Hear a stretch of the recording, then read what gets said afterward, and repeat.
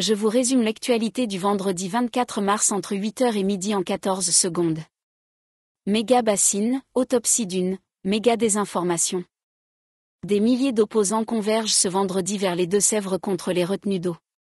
Pourtant, leur efficacité est saluée dans la Vendée voisine, par les écolos.